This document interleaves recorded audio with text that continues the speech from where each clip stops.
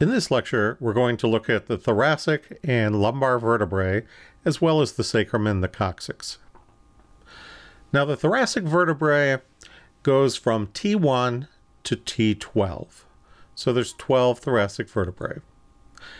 And uh, they're going to have a larger and stronger body than we saw with the cervical. Also, how we're going to tell that this is a thoracic vertebrae is it's going to have longer transverse processes and a much longer spinous process. Also, we're going to have facets or demifacets on the body for the head of the rib. Now, I call these costal facets because, again, costal means rib. And so these are going to be costal facets. Now, if it's an entire facet, sure, we'd call it a costal facet. If it's a partial, then we would call it a costal demifacet. So demifacet is a partial facet. See how this is a partial one on this vertebrae, up above is a partial. They come together to create a whole demi or costal facet. Um, but um, again, we would call that a demifacet. Okay. So again, these are the costal facets because ribs attach to them.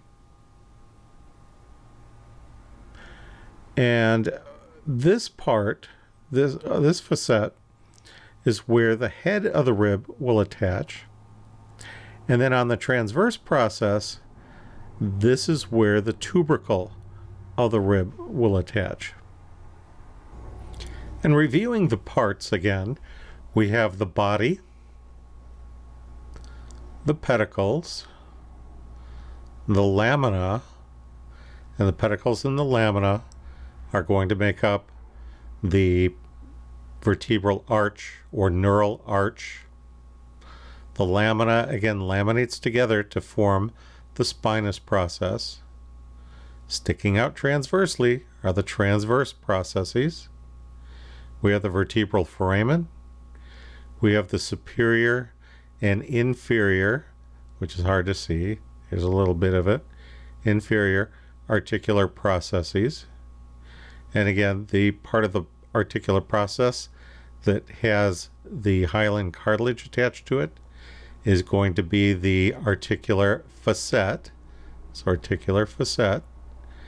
And um, again, if it's the top one, it'll be the superior articular facet. If it's the bottom one, it'll be the inferior articular facet. And then we also have our costal facets and our um, whole costal facets or our demi facets. Okay. Now the lumbar vertebrae is going to be the strongest and largest.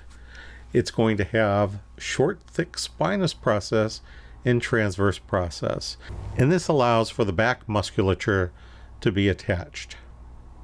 So looking at the parts, we have the body, we have the vertebral foramen, we have the transverse foramen, which again is going to be a bit shorter. We have the lamina, we have the spinous process, we have the superior and inferior vertebral notch, and that goes along with the uh, thoracic vertebrae that I showed a moment ago. We have the intervertebral foramen if we stack these together. Otherwise, it's just the notch. And we have another area too that we find kind of in this area here. And this is going to be called the pars interarticularis. Okay, so the pars interarticularis. But when we're looking at the lumbar vertebrae, how are we going to tell it from, from the others? Well, again, it's going to have the squared off spinous process, which is going to be a bit shorter, and the transverse process is also shorter. And as it says here about the back muscles, here's what I want you to think about. If you've ever had a steak like this, this is a porterhouse steak uh, or a T-bone. Well, this is a half of a vertebrae. This right here is the body. So the body. This right here is the vertebral foramen. Vertebral foramen. This right here is the transverse process. So here's the transverse process. Here we have the lamina. There's the lamina. And here we have the spinous process. So the spinous process. What's hard to see in this picture, and it would be right here, is going to be the pedicles. Okay, so the pedicles. So there you go. You can grocery shop and study for anatomy at the same time. Okay, let's take a look at an x-ray of a lumbar. X-ray of a lumbar, we have our lateral. And this is a good one for seeing the intervertebral foramen. Also good for checking out disc height. Then we have our AP. And with the AP, we're looking for what's called a winking owl. Okay, that's one thing we scan for. What that means is, well, first of all, look at this. See how it looks like it has a beak and it has eyes. And here, this one, the mouth looks open. Here's a beak with eyes. Again, a beak with eyes. That's why they call us a uh, kind of an owl. But if we see what's called a winking owl, that means one of these eyes are missing. So what are the eyes? Well, first of all, the eyes are the pedicles. The square part here, okay, the head, is going to be the body of the vertebrae. We can see right here and here are the transverse processes. They're a little more of a shadow. And this right here would be a spinous process. This right here is an inferior articular process. This right here is a superior articular process. So on this one vertebrae, we see the superior articular process, the body, the pedicles, comes down. Here's the inferior articular process and the spinous process. So hopefully you're able to see that. Now, going back to that winking owl, what that means is the pedicle is missing. So it looks like it's missing an eye. Why that's significant is because that usually indicates metastatic disease. In other words, cancer that has spread to the spine and has replaced the bone tissue with tumor tissue. And so one of these pedicles is missing. So, just as a habit, the radiologist, when they put the x ray up, will just check to make sure all the pedicles are there, all the parts are there, and then they'll go on to look for other abnormalities. By the way, on this x-ray, if you're wondering what all of this stuff is, these are intestines. So this is gas within the intestines. Now there's one more that we do with this. Usually we do an AP, AP, and a lateral, lateral. But with the lumbars, we do one more. Because remember I talked about the pars interarticularis? Well, we do an oblique view. And on the oblique view, we look for what's called a Scotty dog. Okay, so a Scotty dog. And it's this area right in here that is what we call the pars interarticularis. So the top ear is going to be the superior articular process. The eye is a pedicle. The nose is a transverse process. This front leg is what we call the zygapophyseal joint. Okay, it's the inferior articular process. Um, that hooking up with the superior articular process of this vertebrae is that zygapophyseal joint or Z joint. But anyway, the, the front leg is the inferior articular process. The back leg, remember the spinous process angles downward? So the back leg is the spinous process. And then the lamina is kind of in between. Okay, so what we look for on this is to see whether the Scotty dog has a collar. In other words, if there's a black line going through this um, this dog's neck, or if there's a separation at the, the neck, again, looking like it has a collar, then that means that pars interarticularis is broke. And we call it a spondylolisthesis. Okay, spondylolisthesis. And if it occurs on both sides, then the posterior elements of the vertebrae can actually shift away from the anterior portions. Now, this is kind of common among like dead weight lifters.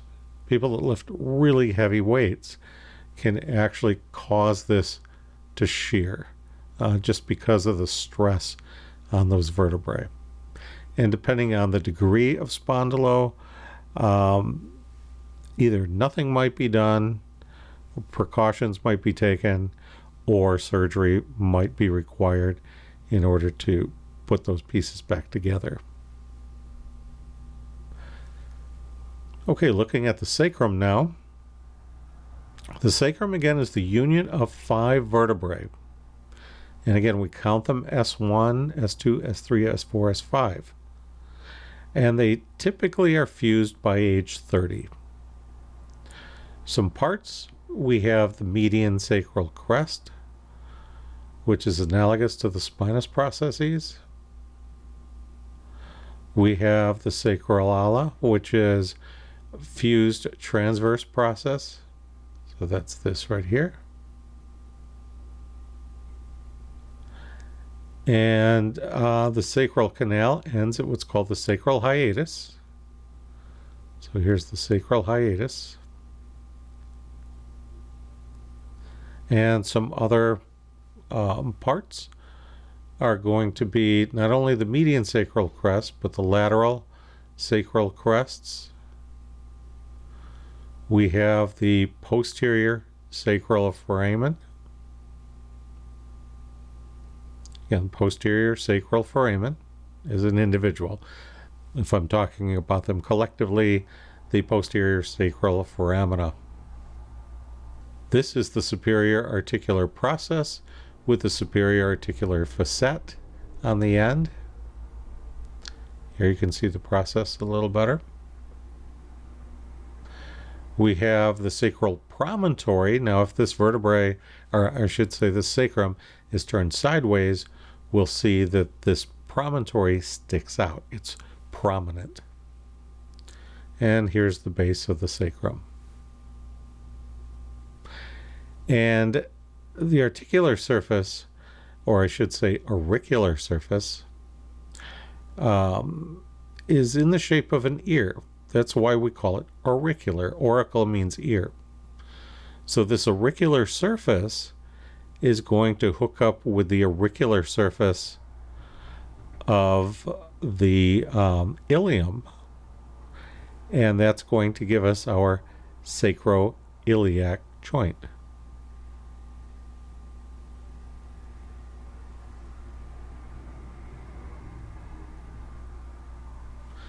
Now this is what it looks like on x-ray and uh, it almost looks like a shield. Now it's a little bit distorted when we take this x-ray just because we have to tilt the the x-ray tube downward on an angle in order to get through the pelvis and take this picture. So it distorts it and makes it look a little bit longer and larger than it really is. And again, here's our, our sacroiliac joint right in here. Sacroiliac joint. And now the coccyx, your tailbone, it's a union of four vertebrae, and it goes from CO1 down to CO4, And again, this should fuse by age 30. Now, caudal epidural anesthesia during delivery is sometimes um, introduced into the sacral hiatus, and uh, that's going to anesthetize the sacral and coccygeal nerves. And then the sacral and coccygeal cornu are often used as landmarks to find this.